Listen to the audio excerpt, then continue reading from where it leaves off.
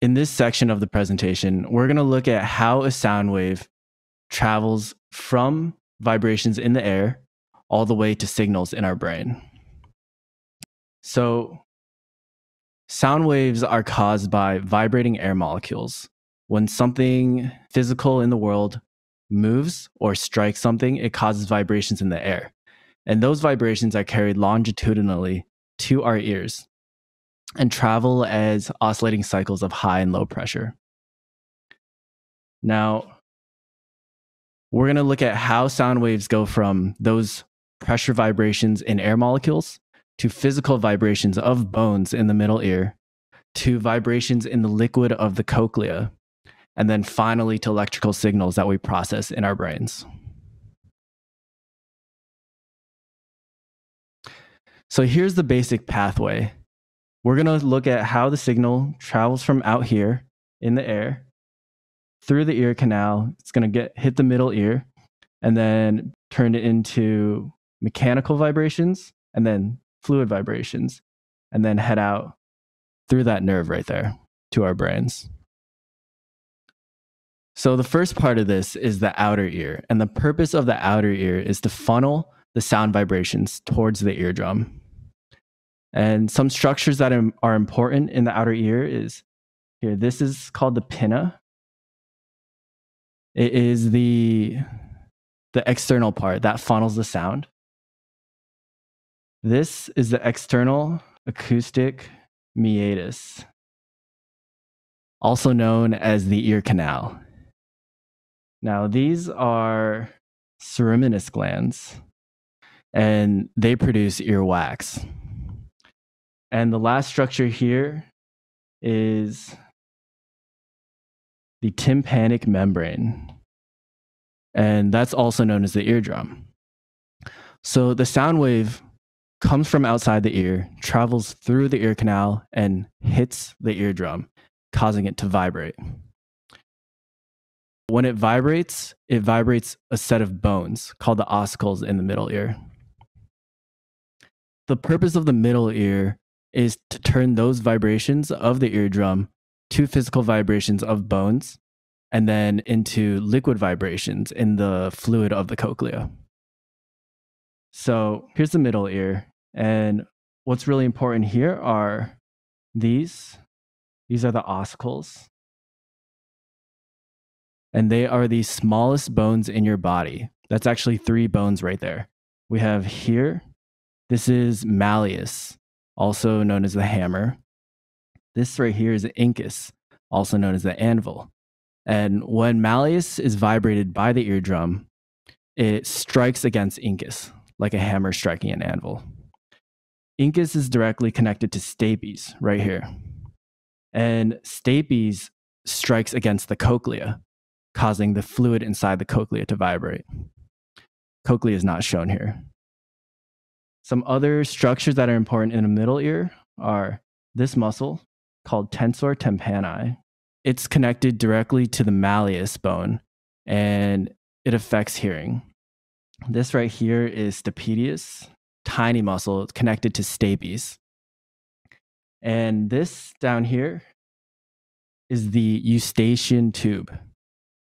And it's connected actually to your upper airway, so like right behind your nose and its purpose is to regulate pressure in the middle ear. So when you're flying in a plane, you're going up and your ears start to build up pressure and you that's thanks to the eustachian tube. Now we reach the inner ear. The purpose of the inner ear in the auditory pathway is to turn those liquid vibrations that result from the stapes hitting the cochlea into electrical signals that head towards the brain. We have a few structures here. The most important one is the cochlea. Right there. Um, some other structures involve this is called the vestibule, and these are called the semicircular canals. So, all of these structures are filled with fluid, the fluid in the cochlea is responsible for hearing. The fluid in the vestibule and semicircular canal those are responsible for detecting your balance essentially. Now, this big pink nerve right here, this is called the vestibulocochlear nerve, also known as cranial nerve number eight. And it transfers the information from the vestibule and the cochlea to the brain. And we'll take a look at that in a second. But first, we're going to talk about how the fluid in the cochlea, those vibrations of sound, turn into electrical signals. So here is the cochlea right here on the left. And on the right, I have a cross section diagram of the cochlea. So here's our little spiral structure. It's wrapped about, about two and a half times around the structure called the modiolus. On the left here, we can see the cochlea. It's got three internal um, chambers that run along its entire length. And in order, the top one is called the scala vestibuli. The center one that I have here in blue is called the scala media. And the lower one is the scala tympani. All three of these chambers are filled with fluid. And also on the cochlea is a structure called the oval window. And that's the location where stapes strikes against it. Those vibrations travel through the scala vestibuli all the way around to the apex and then back around the scala tympani. It causes vibration in the scala media. The central chamber contains some important structures. First, this is called the basilar membrane, and it separates the scala media and the scala tympani. The basilar membrane is lined with hair cells, and these hair cells are actually responsible for the transformation of that mechanical signal into electrical signal. Also important here is this structure right here called the tectorial membrane. When fluid travels through the scala vestibuli and the scala tympani, it causes motion in the scala media. And what happens is when fluid flows through the scala media, the tectorial membrane moves as well, and it causes shearing of those hair cells. So that membrane on top moves against the hair cells and causes potassium channels on the outside of the hair cells to travel into the hair cell.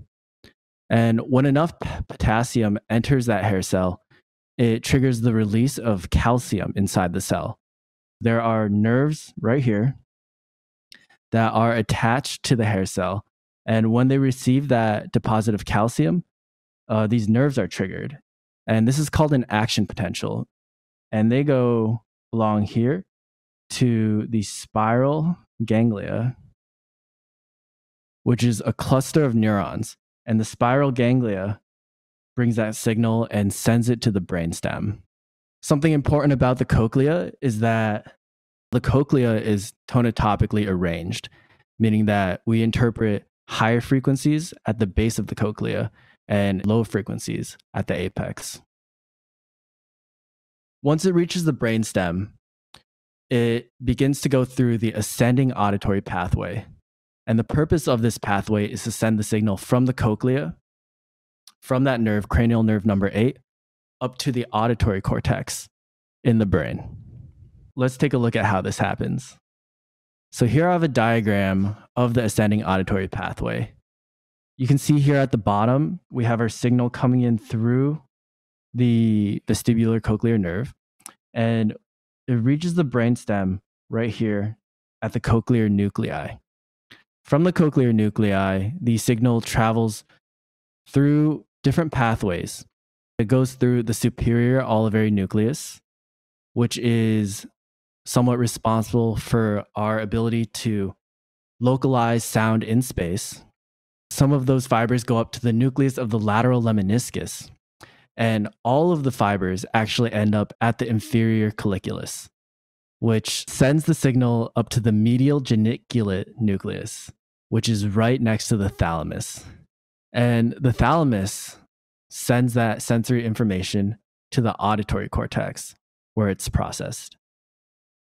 So, as an overview, we just looked at how sound turns from physical vibrations in the air, goes through the ear canal, hits the eardrum, turns into mechanical vibrations here, which strikes the cochlea, turns into fluid vibrations, and those hair cells in the cochlea turns those fluid vibrations into an electrical signal that travels up the ascending auditory pathway to the thalamus to the auditory cortex. And that is how we hear sound.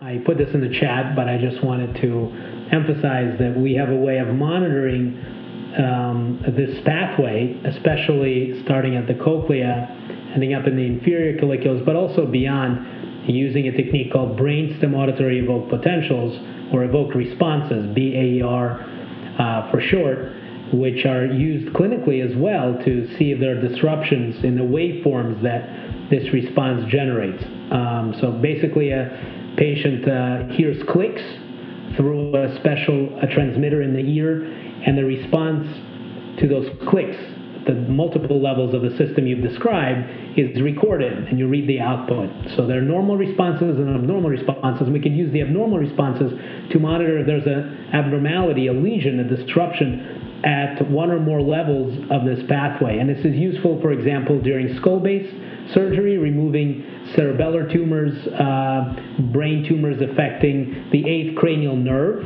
which are actually relatively frequent as far as surgery goes. So it has a research as well as a clinical um, application.